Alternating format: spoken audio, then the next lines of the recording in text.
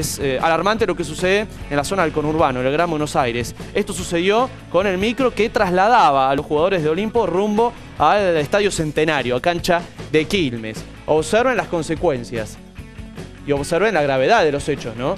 Piedrazos por parte de hinchas, por parte de barras hacia el micro, que como decíamos, llevaba el plantel rumbo al estadio, roturas en varias ventanillas, en varios vidrios, hay que romper, ¿eh? algunas de ellas que son de un material especial, de un vidrio más resistente. Y bueno, las consecuencias lamentablemente las sufrió Fernando Coniglio. Tommy, eh, agradecemos las imágenes a Nico Sevi, Exacto. que está allí con Olimpo de Primera, con el turco, y bueno, nos envió este video y estas imágenes. Totalmente, sí. Agradecimiento para, para allá, para Olimpo de Primera. La, la primicia, bueno, seguramente ya lo- los chicos, tanto el turco como Nico, van a tener material un poco más preciso de todo esto que ha sucedido, pero es realmente preocupante, ¿eh? porque el conurbano hoy es una zona de mucha inseguridad, en este caso la pagó Olimpo, Mira el piedrazo, y por el accionar de un grupo, de una fracción de los barras, queriendo, vaya a saber uno qué,